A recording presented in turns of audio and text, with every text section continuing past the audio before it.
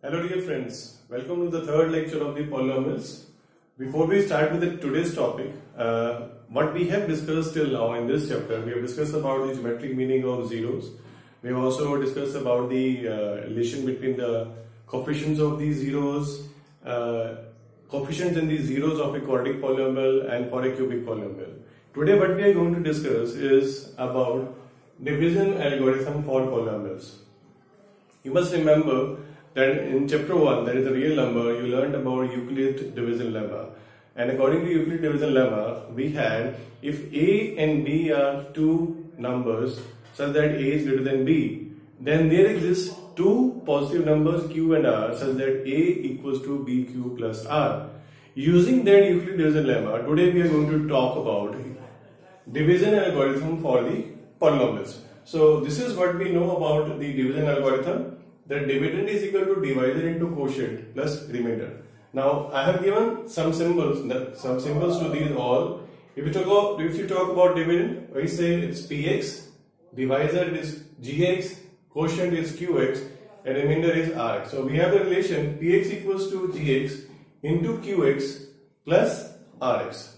Let's verify this relation and also understand how to divide the polynomials using division method, right? So I have an example here. It's written divide 3x square minus x cube minus 3x plus 5 by x minus 1 minus x square and verify the division algorithm. Now the first thing we should know which is the quotient, uh, sorry, which is the dividend and which is the divisor.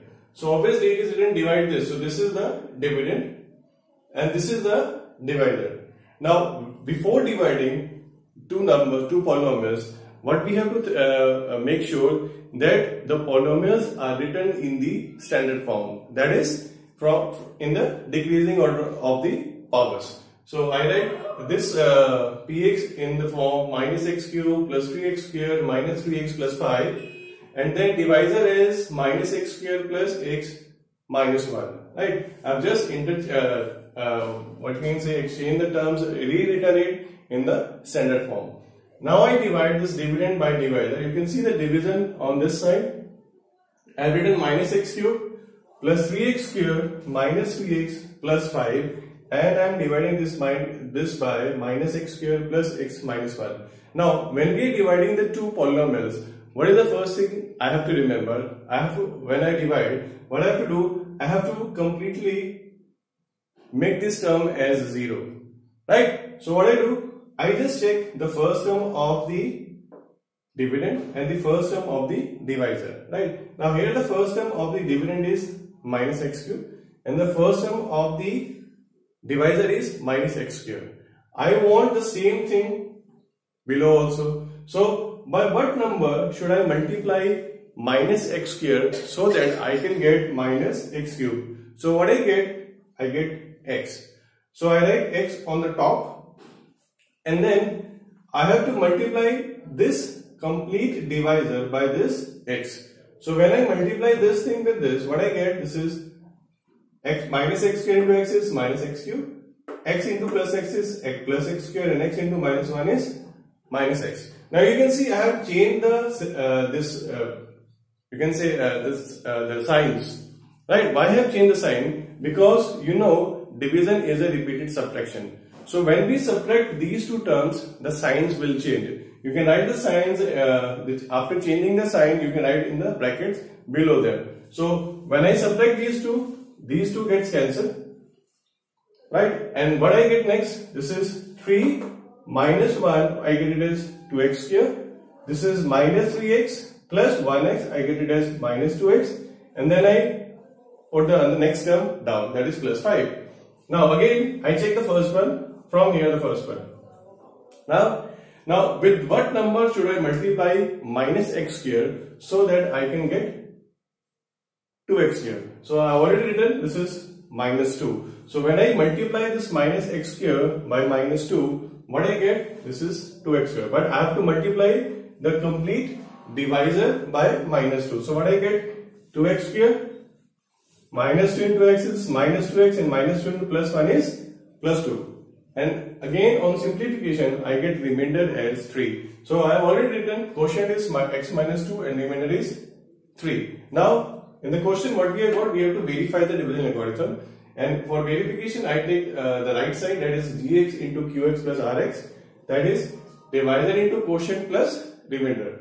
So when I substitute the value the gx that is minus x square plus x minus 1 into x minus 2 plus 3. So when I multiply these two I get it as x into these three terms minus x cube plus x square minus x. Then I multiply this thing with minus 2, I get 2x square minus 2x and then plus 2. And then this 3 comes. On simplification what I get? Minus x cube. This is minus x cube. This x square and plus 2x square get, becomes 3x square. Minus x minus 2x becomes minus 3x and this becomes 3, 2 plus 3 becomes 5 right? And this was our dividend. So this is how we divide and then we verify. Let's take one more question. Now we will take a question from the uh, exercise 2.3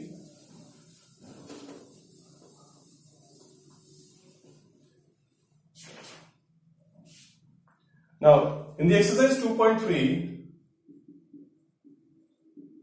I take the second part of the first question and what I have got, I have got Px equals to Px equals to, uh, let me take the book. Px equals to x4 minus 3x square plus 4x plus 5 and the gx by which I have to divide this is x square plus 1 minus x. So obviously the first thing I have to uh, verify that they are written in the standard form or not. My dividend is written in the standard form but my divisor is not in the standard form so I will change the divisor uh, in the standard form. So I write like this something. This is x4 minus 3x square plus 4x plus 5 and when I write this in standard form I get x square minus x plus 1 you must be thinking there is no cubic term here.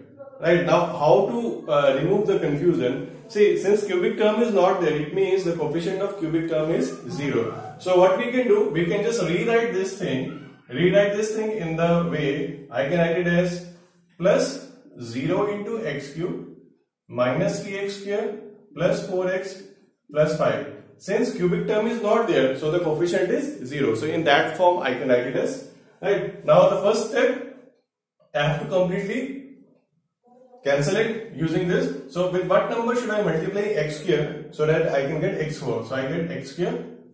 I multiply the complete divisor with the x square so I get x4 minus x cube plus x square. Then I change the signs because I am doing subtraction. So when I do the subtraction, this cancels. This is 0 plus 1. This is x cube or you can write as 1x cube also although we don't write 1 and here minus 3 minus 1 becomes minus 4x cube plus 4x plus 5. Now the next thing what I have to cancel out? I have to cancel out x cube. So with what number should I multiply x square should I, should I get x cube? So that will be x. So I multiply this complete term with the x. So I get x cube minus x square plus x excuse me since it is subtraction, I change the signs. After changing the sign, these cancels. What I get here? Minus 3x square plus 3x plus 5. Now, see, we will be keep on dividing till till the degree of the remainder becomes less than the degree of the divisor. Here the degree is same, so it can be divided, right? So now with what number should I multiply x square so that I can get minus 3x square? So obviously this is minus 3. With minus 3 I multiply the complete divisor. This is minus 3x square minus 3x uh, sorry plus 3x and then we have minus 3. Now I change the signs. This is plus, this is minus and this is plus. So this cancels, this cancels and the remainder is 8. So this is how we divide, right? And uh, one thing more, there can be multiplication in this question also. Uh, in the question they can ask if this one is uh, the uh, is the factor of this or not. So how we verify by dividing it is a factor or not? If the remainder becomes zero, if suppose the remainder had been zero here, it means the divisor is a factor of the dividend, right? Then there is, I take one very important question of this exercise. That is the question number three. Right, now in the question number 3, I have got a polynomial px equals to 3x4 plus 6x square, 6x square minus 2x square minus 10x minus 5. Now what is given? If you see it's, it's, a, it's a polynomial of degree 4 and what more I have given, I have, I have what I got, I have got that root 5 upon 3 and minus root 5 by 3 are two zeros of px. Now what I have to do? I have to find two more zeros of px. Since it's a biquadratic polynomial, degree is 4, it means there will be 4 zeros. So I have to find two more zeros of this polynomial. So how I can do? Obviously I have to divide with something. Now with what we have to divide? Now how we proceed? Since I have, I have got the two zeros of px. Now if these two are zeros, I write given x equals to root 5 by 3 and x equals to minus 5 by 3 root are zeros of px. Now, if this is the 0, if you remember, if x equals to a is a 0 of a polynomial, then x minus a is a factor of the polynomial, right? So, I change it, therefore, x minus root 5 by 3 and x plus root 5 by 3 are factors of px. Right, there are two ways of doing this question. This is the first type, this is the first way by which you can do this question. I will be discussing the second way also. Right, now if these two are factors, see suppose uh, I have the number 12 and 2 and 3 both are factors of 12. It means 2 into 3 is also a factor of 12. So here also, therefore x minus root 5 by 3 into x plus root 5 by 3 is a factor of px. Now when I multiply these two I get x square minus 5 by 3 is a factor of of px. What does it mean actually? It means when I will divide this px with this quadratic polynomial, the remainder should be 0. This is the meaning of factor. So factor means the remainder should come 0. If the 0 doesn't come, it means you have done some mistake. So just see it very carefully how we do it now. Obviously what we will do, we will be dividing it, dividing the given polynomial by the factor we have got. So let's divide it now. So I write 3x4 plus 3x square, 6x square minus 2x square minus 10x minus 5 and I divide this thing by x square minus 5 by 3. So again the same way, uh, see since this is a factor obviously the remainder should be 0 right. So don't get confused with this 5 by 3 you can just simplify. Uh, I have to just check the first term. Now with what number should I multiply x square so that I can get 3x4? So obviously what you will get? You will get 3x square.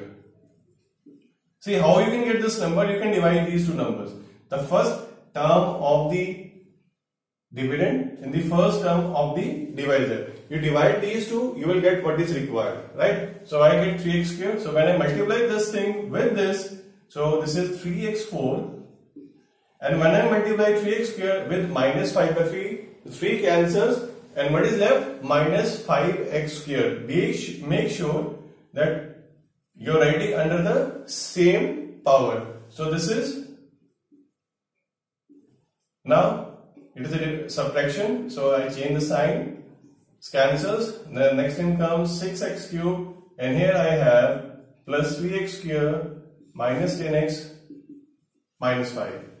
Right? Now again, this is the new term. So first term from the first term, what I get, I write it as 6x. So when you divide this is 6x cube and you multiply this, this is minus 10x. Again you change the signs. This gets cancels and this is 3x square minus 5. Now you multiply x square with plus 3 you get 3x square minus 5 again to change the signs and this gets cancelled and you can see that remainder comes 0. Now how to find the other two zeros? The two zeros are already given. Now this means this. Now if you if you apply the division algorithm for the polynomial, you have basically px equals to x square minus 5 by 3 into the quotient we have got that is 3x square plus 6x plus 3. Now we we already have the two zeros from here which is given in the question. We have to find two more zeros. So what we take we, we take this thing this polynomial so we write therefore 3x square plus 6x plus 3 right and we factorize this thing uh, by splitting the middle term and you get 3x plus 3 into x plus 1. Now to find the 0 we put individual factor in equal to 0 therefore 3x plus 3 equals to 0 x equals to minus 1 and x plus 1 equals to 0 therefore x equals to minus 1. So what we have we write therefore root 5 by 3 minus root 5 by 3 1 sorry minus 1 so minus 1 are zeros of px. So this is the four zeros of the px. Right dear friends. So what you can do now you can just try out the different questions from the exercise.